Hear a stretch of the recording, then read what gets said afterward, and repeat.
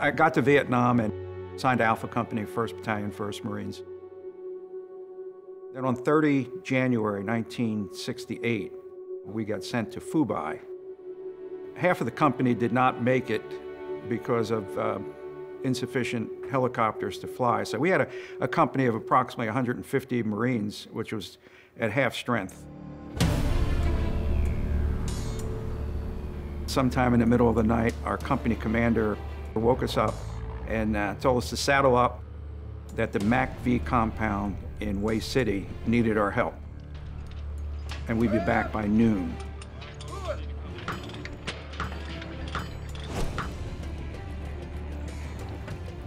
Now, being salty Marines, I had wet socks, so I just put my combat boots on with no socks, took one bandolier of ammo, and we loaded up on trucks.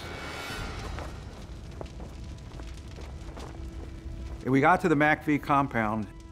There was a lull in the, in the fighting. They repelled I don't know how many attacks.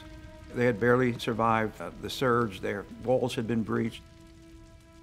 And I could remember there was a, a wall and they started cheering us as we came in because they had been through hell. And they thought that we were there to save the, the day. And, you know, little did we know the numerical numbers of NVA there.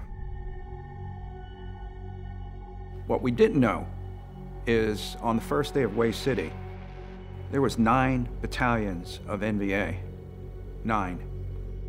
Numerically, that put us at that point at a few hundred to one odds. And these were not Viet Cong.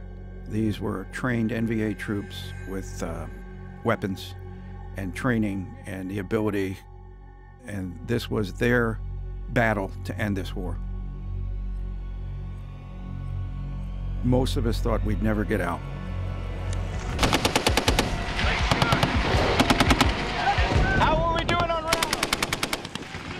as we certainly learned on that first day, trying to go down both sides of the street and, and finding that uh, totally ineffective. We had to adapt quickly, and that was sort of a natural thing for these Marines. Americans adapt. We improvise. The most ferocious fighting machine the world has ever seen is a 19-year-old pissed off Marine